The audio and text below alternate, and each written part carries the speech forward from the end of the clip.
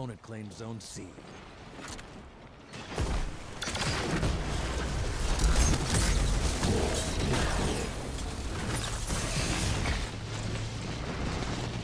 That shut them down.